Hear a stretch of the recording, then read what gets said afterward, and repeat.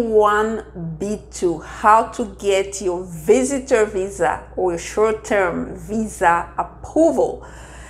In this video, I'll give you a couple tips, three things, three must know about B1 and B2 visa, and hopefully it's going to help you uh, at your interview at the US consulate office outside of the US, of course. Of course, my name is Bijoux Ngwanda. For those who do not know me, I'm an immigration lawyer here based in DC. I do work with individuals across the country and around the world because we're dealing with complex immigration laws and we're dealing with complex immigration cases. If you're new to my channel, please go ahead and subscribe.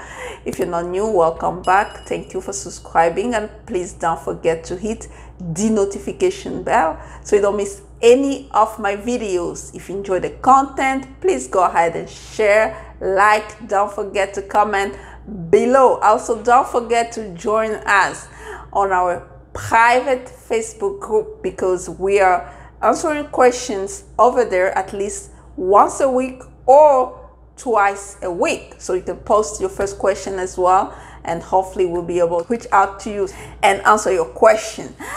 Let's get right into it.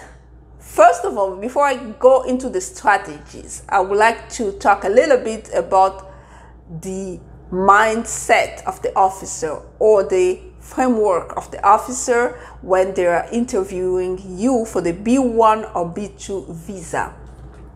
The officer framework or mindset is that you are an intended immigrant. The moment you apply for B1 or B2, the assumption is that you are an intended immigrant. Simply means that you are going to the US with the intention to stay there, not to come back. So they go to that interview with that mindset. So it's the burden is on you to prove them the contrary, to prove them that no, you, you are just going for a visit or you're going for pleasure or you're going for business and you're going to come back to your country of origin the burden of proof is on you. Okay? So now, three things you must know. Number one, you have to be able to show strong ties, strong ties to your country of origin. How do you show that? If you have a family, you have to tell them that you're married and you have children, especially if they are at the tender age, younger age.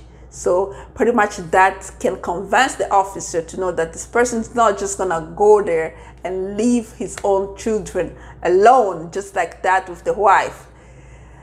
You can also show that with um, businesses. If you have businesses in your country or estate, you have a house, you own a house, you own a business, you can show that you have strong ties to your country of origin. You're not going to the US to just stay there, really, for what? Or the job, like if you work and you get paid a good salary, especially to the standard of your country, right?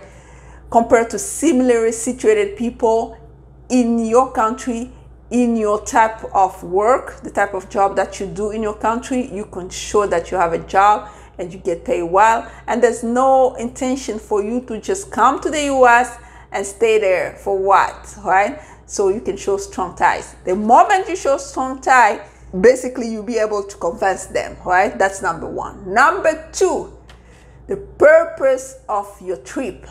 What is the specific reason why you're going to ask that B1, B2 visa? For example, let's say you're coming for visit or pleasure you want to visit, for example, the Statue of Liberty, or you want to visit Disneyland, you have to show them pretty much precisely the hotel room that you book in New York if you're visiting the uh, Statue of Liberty, or the hotel room that you book in uh, Orlando if you're visiting Disneyland or Disney, whatever that is in Orlando, right? The biggest attraction there.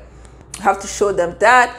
You have to show them tickets for the entrance where you are going exactly and the type of activity that you'll be doing. If you have that one uh, like plan out, like it is like you can show it, those documentation, proof, receipt, you should be fine. really you should be fine. That's the second point. And the last point, I believe the most important one, you have to show financial statement.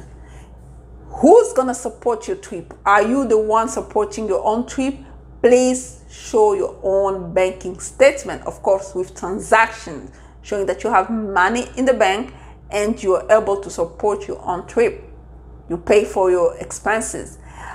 For example, if somebody else is supporting you, then you that person has to show their financial statement as well, showing that they are able to support you. If you're gonna live at their house, they can show that they have a house or an apartment of three bedrooms, etc., etc. So they have to be able to show how you are going to support yourself because they don't want you to become a public charge. For people who live here, they know the notion of public charge. So basically, they don't want you to come here, stay here, and rely on government government benefit. So those are the three things that you must know. Once you master how you're going to answer those questions or how you're going to prove to the US officer at the consulate or at the embassy that you are not an intended immigrant, that you are going there basically for that specific purpose that you lay out on your application, they will be able to issue the visa. So you have to have some credibility for that. But let's say, for example, there's an issue of inadmissibility. Uh, perhaps something happened in the past, you were banned from entering, then at least you will be informed on how to apply for a waiver and if a waiver applies in your case. Okay, you got it? Three things just go do your interview. If you need help, please call the office 202-751-2180. Email bijou, that's esq at gmail.com. Consultation fees apply as usual. Um, until next time, bye-bye.